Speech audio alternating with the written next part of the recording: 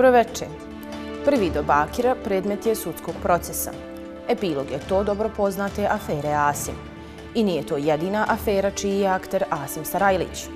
Asim je bio poveznica, kontakt između Fikreta Hođića i Fadila Novalića. Znamo dalji slijed afere respiratori. Asim i Traca su skaki obezbijedili mandat za gradonačelnika Sarajeva. Znamo i to kako je završilo. Neslavno po skaku kad sagledamo sve njegove provale tokom mandata. Asim je dobar i sa šefom obavještajne službe i sa njim ljetuje u Antaliji. Neće njima sud to zabranjivati. A i kako će? Predsjednik suda, španac ali bosanac, njihov je čovjek. Oni u tome ne vide ništa sporno, jer Asim je dva puta ranjavan u ratu. Ja i. Nije mu sud to uzeo kao olakšavajuću okolnost, neće ni narod. Jer što bi rekao Asim u snimku Afere Asim, neće ni ovaj zulum više trajati. Počeo je vjesnik.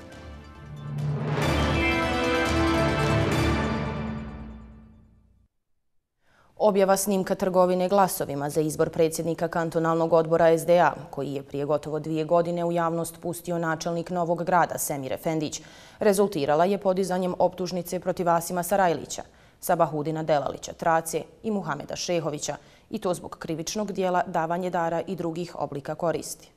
Općinski sud Sarajevo je potvrdio optužnicu tužilaštva kantona Sarajevo protiv Asima Sarajlića, Sabahudina Delalića i Muhameda Šehovića zbog krivičnog dijela davanja dara i drugih oblika koristi. Riječ je o aferi Snimak. Tereti ih se da su od 20. do 25. februara 2020. prije zakazanih unutar stranačkih izbora stranke demokratske akcije za predsjednika kantonalnog odbora SDA Sarajevo, na kojem su predloženi kandidati bili Semir Efendić i Fikret Prevljak, Irak posredstvom Muhameda Šehovića ugovorili sastanak s delegatom Velidom Tvrtkovićem, kojim su obećali da će korištenjem svog utjecaja na osnovu pozicija unutar stranke demokratske akcije zaposliti njegovu suprugu. Tvrtković je trebao za uzvrat svoj glas dati kandidatu u Fikretu Prevljaku. Tužiteljica je za glavni pretres predložila saslušanje tri svjedoka, tri vještaka i više od 70 materijalnih dokaza, potvrdila je glasnogovornica tužilaštva kantona Sarajevo Azra Bavčić. Vučić. Inače, u februaru prošle godine je načelnik općine Novi grad Semir Efendić objavio snimak o malverzacijama u pozadini unutar stranačkih izbora.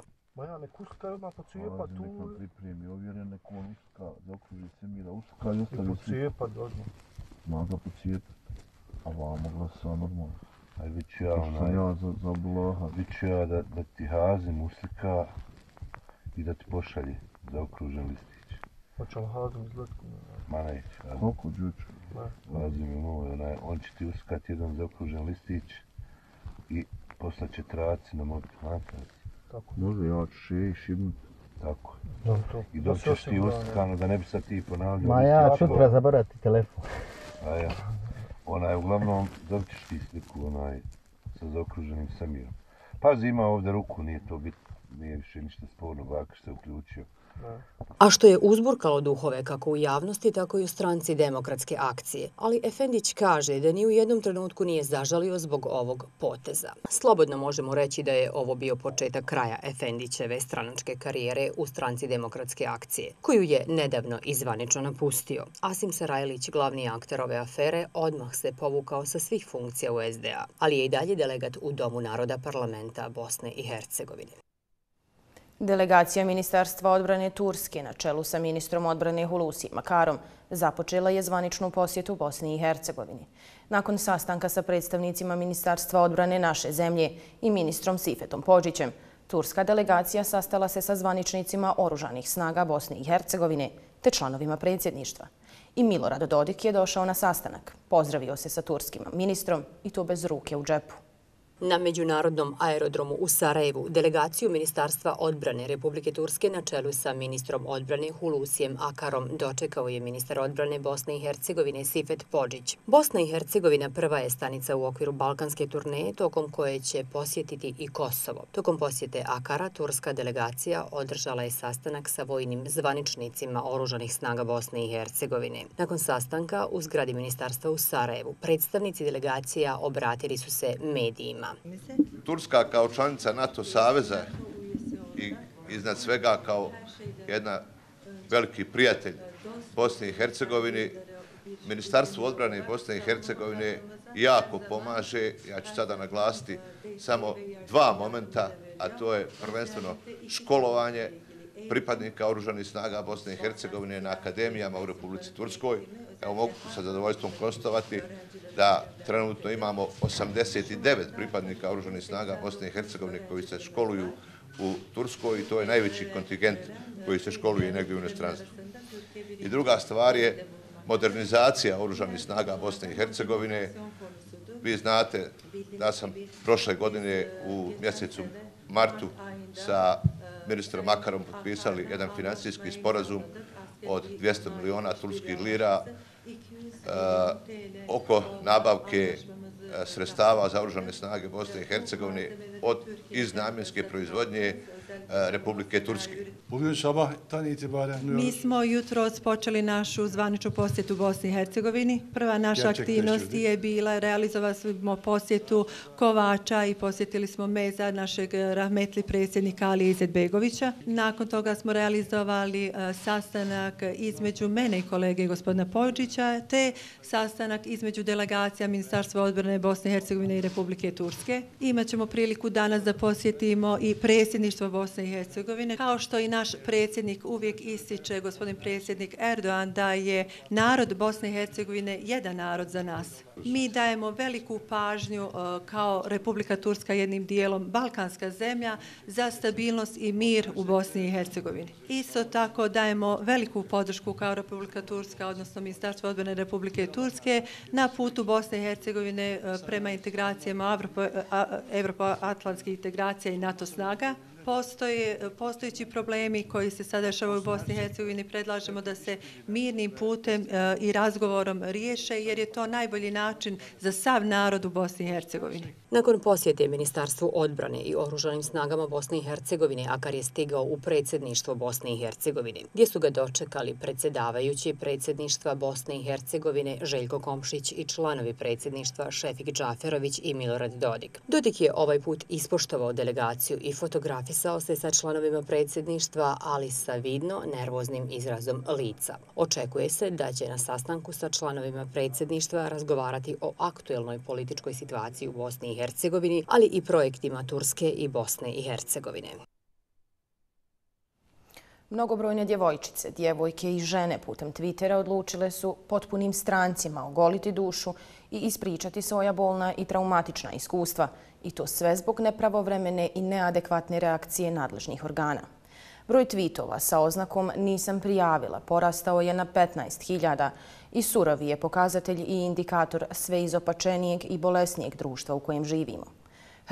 Hrabre žene i ovaj put su digle glas. On se čuje, on postoji i on mijenja mentalitet, uprkos otporu. Biti žena na Balkanu, u svijetu, boriti se sa nametnutim konzervativnim usađenim principima, direktan je uzrok koji dovodi do toga da ne prijaviš. Ako vas neko ucijenjuje seksualnom svojom ponudom da snimite film za njega, ja bih se okrenuo i izašao bih van. Možda čak ne bih ni prijavljivo, ali ne bih sudjelovao u snimanju filma. Eto, ne bi. Makar mi karijera bila ugrožena, da nam je neko zlostavlja na ovom poslu, ne bi dalje sudjelovao u tome. Ne bih. Eto.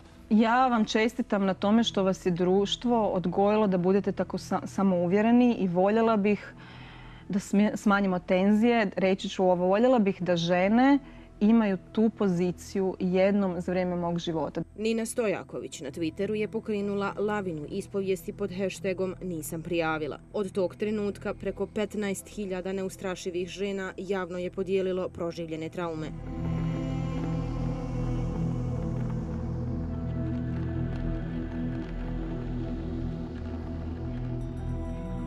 Nažalost, naučene da šute, ne prijavljuju i krivce traže u sebi. Žene odlučuju zadržati traume u sebi, ali to nije rješenje. Glumica Daniela Steinfeld, koja je potresla javnost priznanjem da je glumac Branislav Lečić silovao 2012. godine i sada je reagovala sa pitanjem upućenim predsjedniku Vučiću. 10.869 slučaja žena koje nisu prijavile jer nisu imale bezbjednost. Koliko je to hiljada nasilnika na slobodi? Koliko žena će danas biti napadnuto u Srbiji kada nema posljedica? Aleksandre Vučiću, Kako možemo vjerovati policiji i tužilaštvu da će nas zaštititi? Nama je još gore kad prijavimo. Hashtag nisam prijavila jutro poslije silovanja jer sam bila slomljena i njihovo nevjerovanje i osudu da lažem ne bih preživjela. Kada sam progovorila pa bila prinuđena da učestvujem u predistražnom postupku, uprkos pregrš dokaza desilo se isto. Samo sada me ne mogu slomiti. Hashtag nisi sama. Ipak, za sve žene, prijavi. Imaš kome, nije bruka.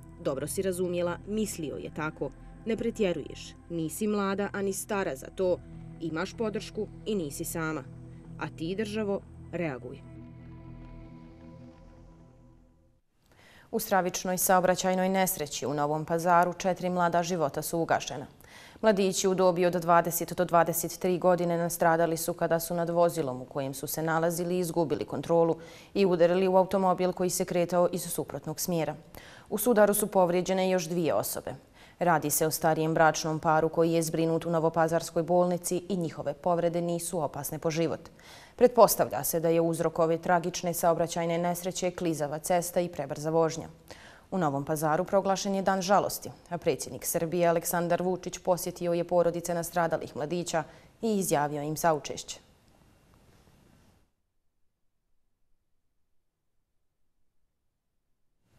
Milorad Dodik se opet pokušava prepucavati sa američkim ambasadorom po pitanju najavljenih sankcija. Kontra tome, turski ministar vanjskih poslova poručuje da Turska neće dozvoliti da se vratimo u 90. U nastavku i ostali vijesti.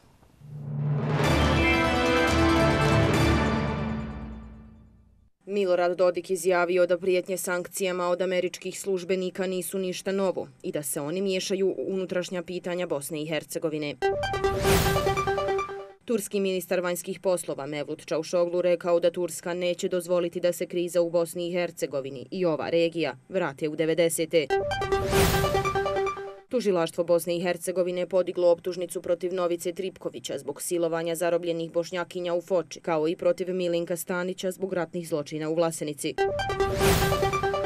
Kantonalni sud u Zenici odbio prijedlog tužilaštva Zeničko-Dobojskog kantona o određivanju mjera zabrane Fuadu Kasumoviću.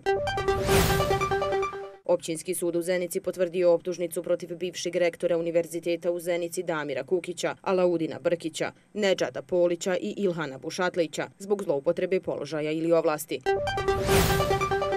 Skupština kantona Sarajevo jednoglasno utvrdila zakon o vodama kantona Sarajevo, usvojen i nacrt zakona o izmjenama i dopunama zakona o porezu na promet nekretninama i porezu na nasljeđe i poklone. Abdullah Skaka zvanično imenovan za novog ambasadora Bosne i Hercegovine u Kataru. Dužnost preuzima 1. januara. U Kozarskoj dubici pronađena dva beživotna tijela, nezvanično riječ o ubistvu i samoubistvu. Aleksandar Vučić i ambasador Turske obišli radove puta Novi Pazar Tutin, iskazan veliki značaj razvoju Sanđačke regije. Njemačka nevladina organizacija Sea-Watch spasila gotovo stotino ljudi na Mediteranu u svojoj petoj misiji u tri dana, među spašenim i trudnica. Generalni sekretar NATO-a Jens Stoltenberg predložio Rusiji da sastanak vijeća Rusije-NATO bude održan 12. januara.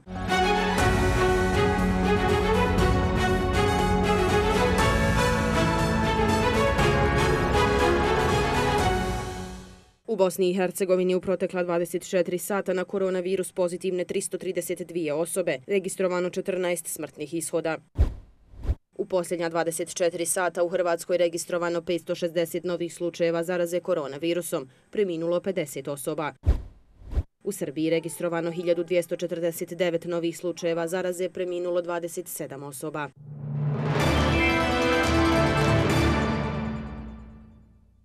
Toliko od informativne redakcije. Ostanite uz program Face. Doviđenja.